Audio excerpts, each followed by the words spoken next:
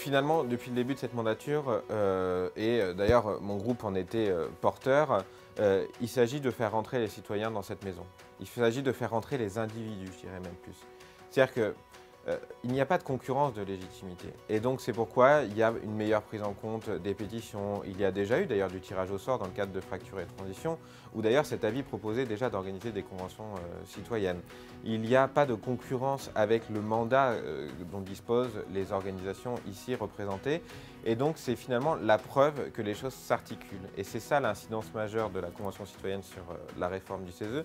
C'est d'ailleurs sans attendre un texte ou sans attendre quoi que ce soit, c'est de faire, et je crois que euh, c'est la force de cette maison, c'est de faire la démonstration qu'elle fait. Je crois que la parole citoyenne, euh, le fait de prendre l'individu dans sa globalité, c'est-à-dire il est pris comme un citoyen certes, mais il est aussi pris comme un contribuable, il est pris comme un travailleur, il est pris comme un militant, il est pris comme un chef, ou pas d'ailleurs, de famille.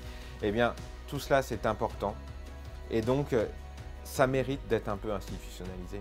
Parce que Qu'est-ce qui se passerait si demain euh, on voyait des petites conventions citoyennes se faire un peu partout désorganisées On le voit, les membres de cette convention citoyenne ne sont pas sous cloche, ils sont soumis à diverses pressions.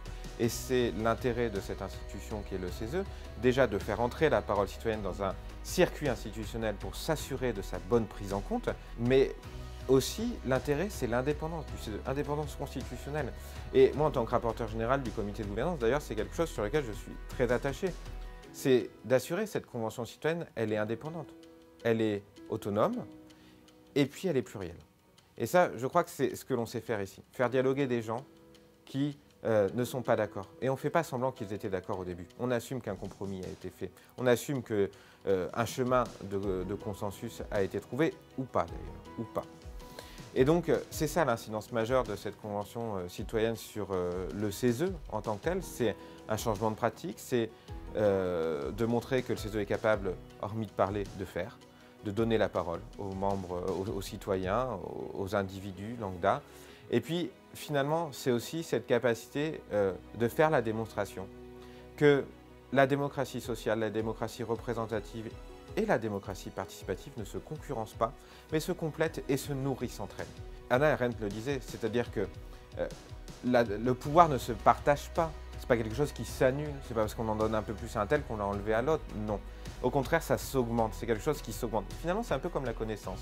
Quand on délivre sa connaissance à quelqu'un, eh bien, on ne la perd pas. Eh bien, moi, je crois que quand euh, le gouvernement décide de délivrer un peu de pouvoir à cette convention citoyenne, personne n'en perd.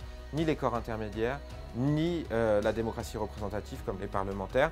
Eh bien, à la fin, je crois que c'est la preuve que c'est possible de donner le premier mot aux citoyens, que des choses belles en sortent, et que tout ça participe à une démocratie augmentée et c'est d'ailleurs euh, ce que voulait le CESE dans son avis Fracture et Transition, fait avec des citoyens tirés au sort en plein pendant le mouvement des Gilets jaunes.